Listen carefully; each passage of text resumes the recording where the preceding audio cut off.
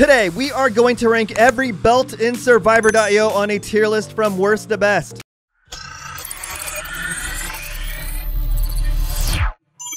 Starting off with the leather belt, we have the leather belt, and the leather belt has two skills healing plus 5% when looting food, max 30%, and movement speed plus 5% when looting food, max 30% as well. If there's a lot of food on the map, this might be handy, and if you are wearing red Voidwaker treads, when your movement speed increases, you might find that beneficial. Your attack might increase there, but obviously, this belt is very restricted. It's only beneficial if you are looting food. We are going to stick the leather belt in the C tier. Next, we have have the Broad Waist Guard, and the Broad Waist Guard has two skills. Radiation pulses one time when healing, dealing damage proportionate to HP healed, and all radiation pulse damage doubled. So whenever you heal, there will be a radiation pulse around your survivor, and the more you heal, the more damage that radiation pulse will deal. It is actually pretty cool and fun to use, especially with catnips and an all-healing build, but it's not very beneficial and it is restricted. I like it a little bit more than the leather belt, so I'm going to stick it in the B tier for now. Next, we have the waist sensor, and I really like the waist sensor. When your HP is above 50%, your movement speed will be increased by 20%. And when your HP goes below 50%, the damage you received will be reduced by 20%. The waist sensor is a great choice if you are wearing Red Voidwaker treads. Red Voidwaker treads have a skill down here that says Predator increases proportionate damage against enemies with lower movement speed than you. And there's a max 50% damage increase, so that's a lot. Obviously, since the waist sensor will increase your movement speed when your HP is above 50%, they can help increase your damage if you are wearing Red Voidwaker treads. And because of that, I kind of want to stick them in the S tier. Pretty much every strong player with Red Voidwaker treads wears the Waist sensor, but it's not always necessary. It will not increase your HP by the same amount as S grade gear, but it can help you increase your damage by more, and that's why I want to stick it in the S tier. Next, we have the Army Belt, where you can gain Inspire from elite and boss kills, which will grant one Shockwave shield to your hero. At an epic grade, Gain Dominator State for 5 seconds when Shockwave is triggered. This will increase your damage and movement speed by 100%, but that's only for 5 seconds. In addition, all skill cooldowns are maximized. I'm not gonna lie, the Army Belt is very fun to use. It's very fun to have your damage and movement speed increased by 100% for 5 seconds, but it's not very helpful, it's not very beneficial, and it's only for 5 seconds after you kill an elite or a boss. I'm going to stick the Army Belt in the B tier. I think that's where it belongs. Next, we have the Voidwaker Sash. And one thing to keep in mind about the S grade belts is that they both will increase the revival effect by 20%, which is the healing effect, and they will both increase your HP by 40%. So that's where they have an edge against normal equipment. With the Voidwaker Sash, you can gain Harden for 5 seconds every 500 enemies killed, which will make you immune to all projectile damage. And at a red grade, you'll become immune to all damage and insta-kill minions when you collide with them. Like all belts, this isn't very beneficial, but it is pretty fun. You can essentially become immune immune to damage for 5 seconds, you can insta-kill enemies when you collide with them, and you look cool while doing it. All belts are kind of underwhelming, but I'm going to stick the Voidwaker Sash in the S tier. It may not increase your movement speed or your attack as much as the Waist Sensor, but it will increase your HP and apply the revival effect.